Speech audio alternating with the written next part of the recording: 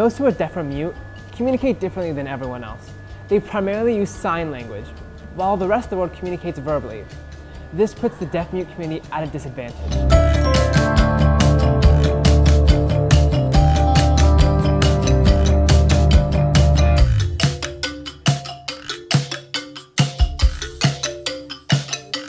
The gloves work by utilizing sensors on the hand and wrist to measure hand position and hand movement.